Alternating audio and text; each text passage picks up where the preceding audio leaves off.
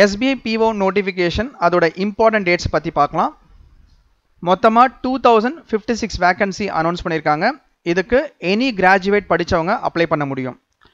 Online registration fifth October start ஆகிடுச்சு இதுக்கான last date இந்த மாதம் அதாவது இருபத்தஞ்சி அக்டோபர் லாஸ்ட் டேட்னு சொல்லியிருக்காங்க.